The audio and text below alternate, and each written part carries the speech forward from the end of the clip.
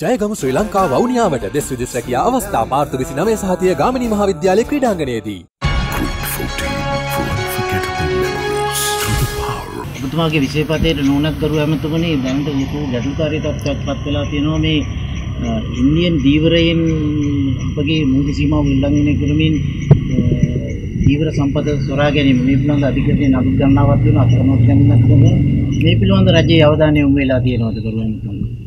මේ පිළිබඳව ආරක්ෂක අමාත්‍යංශයේ දීවර අමාත්‍යංශයේ අවධානය යොමු වෙලා තිබෙනවා.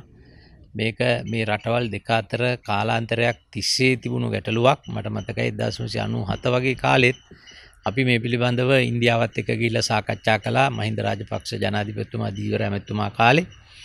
ඉතින් අපි බලාපොරොත්තු වෙනවා වර්තමාන ජනාධිපතිතුමා ඉන්දියානු රජයේ රාජ්‍ය නායකත්වයත් එක්ක සාකච්ඡා කරලා මේ පිළිබඳව ඉක්මන් තීරණයකට එන්න නමුත් මේ දවස්වල ඉන්දියාවේ පවත්තින පාර්ලිමේන්තු මහමැතිවරණය නිසා ඒ රාජ්‍යනායකයොත් හුඟක් අවිවේකී ගිලාවක් මං විශාස කරනවා මැතිවරණය අවසන් වන වහම ජනාධිපතිතුමා ඒ උදවියත් එක්ක කතා කරයි.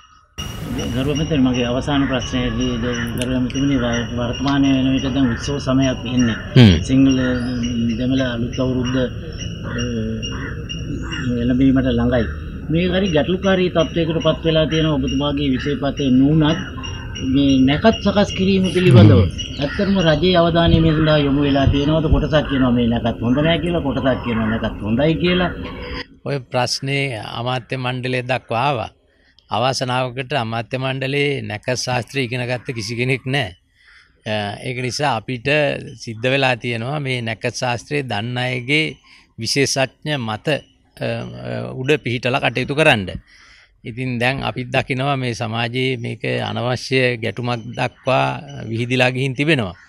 ඉදිරියේදී අපේ විදුර වික්‍රමනායක ඇමතිතුමා මේ පිළිබඳව සාකච්ඡා කරලා යම් කිසි වෙනසක් කරන්න අවශ්‍ය නම් තීන්දුවක් ඉක්මනට ගනීවි. ජනතාවට සහන සැලසීමට රජයේ බලාපොරොත්තුවක් තියෙනවද උත්සව සමය තුළ දරුවෝ? ඇත්ත වශයෙන්ම පෞද්ගලික මාස කීපය තුලම සිංහල අවුරුදු සමයේදී බාණ්ඩ මිල අඩු කරන්නත් බාණ්ඩ හිගියකින් තොරව ජනතාව වෙත බෙදා හැරීම සඳහා ක්‍රමවේද හදන්නත් විශේෂ අවධානය යොමු කරා. පවතින ජීවන වියදමත් එක්ක අපි දන්නවා රටේ ජනතාවගෙන් බහුතර කොටසකට මේ ඉතා දැඩි පීඩනයක් තියෙනවා තමයි. නමුත් රට වැටිලා තිබුණු තැනේ ඉඳලා අපි අවුරුදු කාමාරක් වගේ කාලයක් තුල මේ තත්වයට ගෙන ආපු එක ඇත්ත වශයෙන්ම ජයග්‍රහණයක්. ඉතින් මේ තත්ත්වය තවදුරටත් සුමට තත්ත්වයකට පත් කර ගැනීම සඳහා අපි ආණ්ඩුවක් විදියට කටයුතු කරමින් ඉන්නවා. ඔබතුමා ගරු ඔබතුමා මහානායක හිමියන් දෙපළක් සමගම බොහෝ වෙලාවක් සාකච්ඡා කළා. විශේෂ කරුණු යමක් සාකච්ඡා කරාද සාකච්ඡා කරා මොකද මේ රට මේ තත්ත්වෙට වැටුනේ ඇයි කවුද මේකට වග කියන්නේ ඕන කියන කාරණා අතරෙම දැන් අපිට මේ අතීතය හාරහාර ඉඳලාම අපේ ප්‍රශ්න විසඳෙන්න නැහැ. අනාගතය කොහොමද සකස් කරගන්න ඕන කියන කාරණයට තමයි අපි අවධානය යොමු කරේ. ඒ සඳහා ඉදිරි ජනාධිපති මැතිවරණයේදී නිවැරදි තීරණ ගැනීම සුදුසු පුද්ගලයන් යොදා ගැනීම පිළිබඳව තමයි අපි සාකච්ඡා කරේ. ඒකම බැරි වෙලා දැන් ඔබතුමාට රටේ බහුතරයක්ගේ මතයක් තියෙන අපි තනින් තන යන නිසා වචනෙන් වචන ඇහෙනවා නීතිය පිළිබඳ මනා අත්දැකීමක් තිබෙන නීති නීති පිළිබඳ මනා දැනුමක් තිබෙන කෙනෙක් මේ රටේ නායකත්වයට આવොත් රටේ නීති අනිවාර්යෙන් ක්‍රියාත්මක වෙනවා කියලා. ඔබතුමාට බැරි වෙලා ආරාධනාවක් ආවොත් මේ රටේ පොදු අපේක්ෂකයා විදියට මේ රට බාර ගන්න ජනාධිපතිතුමා ඉදිරිපත් වෙන්න කියලා ඔබතුමාගේ අදහස මොකක්ද මේ පිළිබඳව?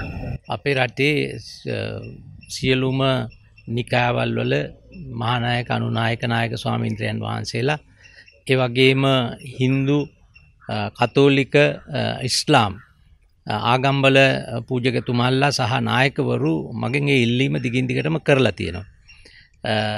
මං ඒ කණ්ඩායන් එක සාකච්ඡා කරනවා රට වෙනුවෙන් ඕනම අභියෝගයක් භාරගන්න මම සූදානං ඒ පිළිබඳව තාම මම තීරණයක් අරගෙන නෑ ඉදිරියේදී ඒ සියලු දෙනත් එක සාකච්ඡා කරලා නිවැරදි තීරණයක් ගන්නවා. ඉල්ලීමක් ලැබුණොත් ඔබතුමා ඉතිංගත්වය පළ කරනද? ඉල්ලීම් දැනටමත් මට තියෙන ඕන තරම් ඇවිල්ලා මම මේ පිළිබඳව තීරණයක් අරගෙන නැහැ. තව දුරටත් සාකච්ඡා කරලා බලලා කල්පනා කරලා බලලා තීරණයක් ගන්නවා. ඒ කියන්නේ අපිට ඉදිරියේදී විදිහට රාජපක්ෂ මැතිතුමා ජනාධිපති අපේක්ෂකයට දකින්න ලැබෙනු ඇති කියලා විශ්වාසය තියාගන්න පුළුවන්.